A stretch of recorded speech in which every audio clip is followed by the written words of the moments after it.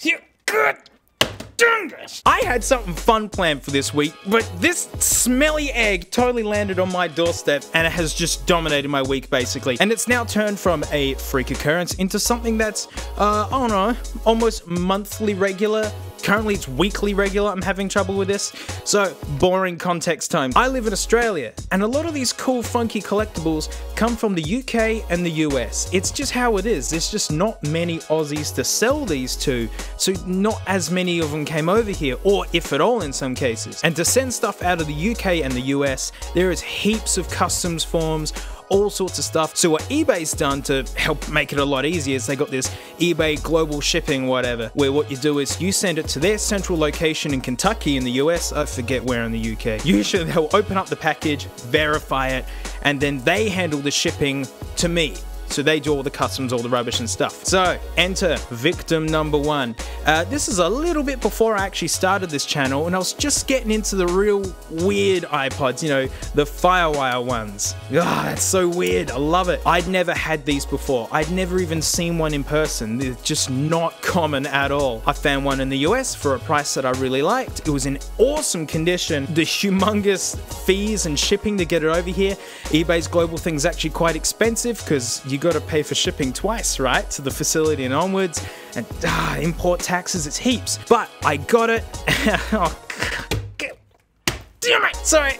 At the eBay site, in Kentucky, they decided to open this up just with a box cutter, shunk, and just look at that. Through the wheel, through the button, just absolutely shattered this thing. This isn't actually the back that it came with. This one, I tried to use it for a little bit, but it turned into a parts pod because no amount of sandpaper and Brasso can fix that. And you know, you can feel it in the.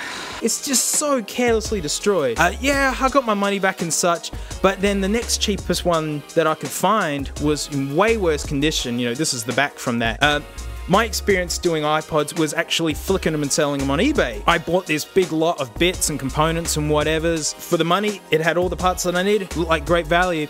And so this one actually came from the UK through their eBay global shipping whatever thing. It's the only other country that's got it. And um, so what these people proceeded to do was just empty all the contents out, go, oh no, there's no drugs in here, then scrape it all back in the box and just send it straight on to me. This is how the box arrived. It's been Ace Ventura'd to my door. I'm not even getting, look at it. And then you open it up and it's just... You couldn't be more careless if you tried. Everything was taken out of its paper sleeves and separators and things, and then at the bottom of the box was just the, the gravel, the technology sand. Where do you think the parts came from to make this?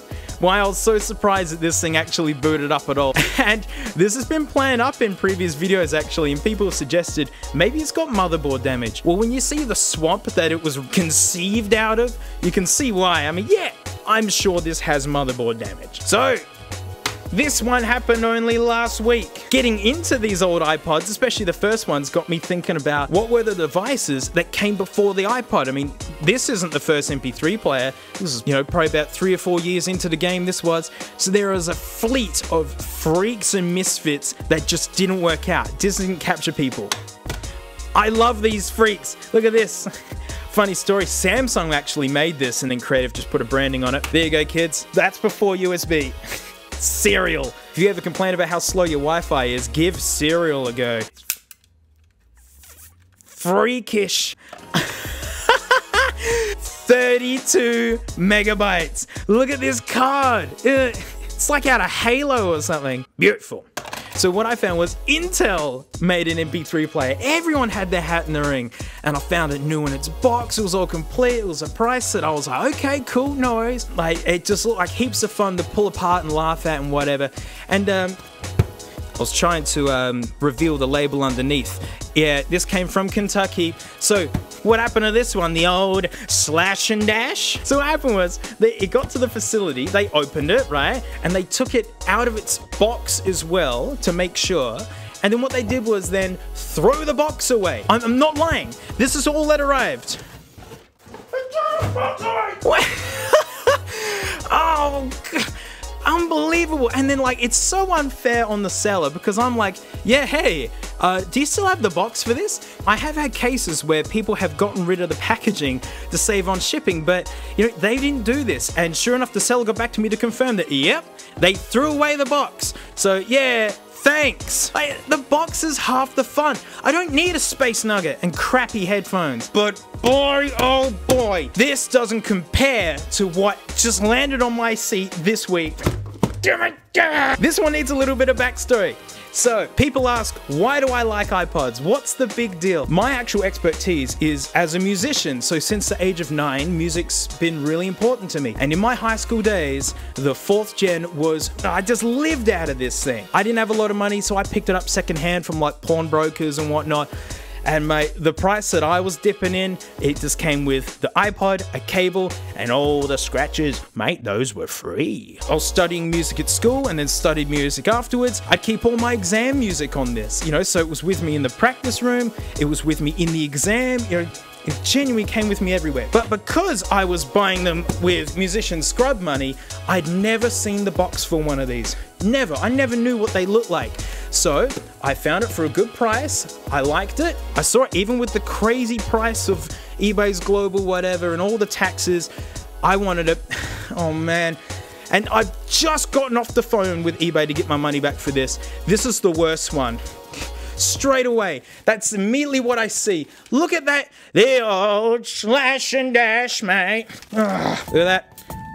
Pitney Bowes, Mark of the Beast, Kentucky, because eBay's made it so only Pitney Bowes handles all of their eBay global whatevers. You know, this is, there's Kentucky, this is the bag that was shipped to them, and this is how they decide to open investigate it. Cut, cut, cut. Look at that.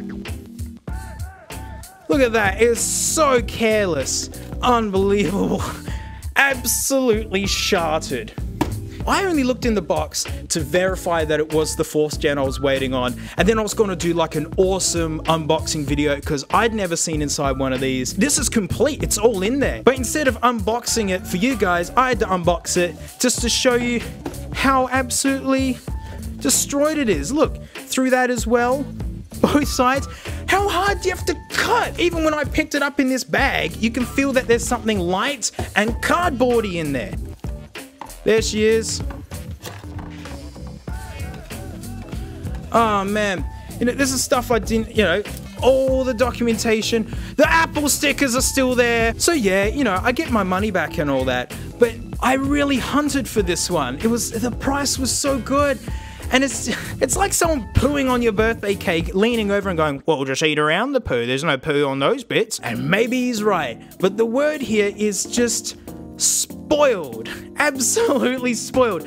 And so carelessly as well. If they just, you know, one cut in the top and then just tear it open, none of this would have happened. Same way if Uncle Kevo would just squatted two feet the other way. And all of these come from the Kentucky site or that one UK one. And I'm just showing you the worst examples of stuff that's coming genuinely like, oh my gosh, that is careless. I've had some of them come in where they've been repackaged so awfully, I can't believe it arrived in one piece.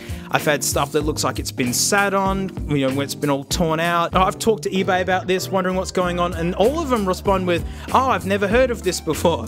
But then if I do my research, look, there's people complaining about the old slash and dash. Um, uh, what's a positive I can finish with? Um, the box is smaller than I thought, which means it will fit in the bin easier. All right, that's the that's the happy ending.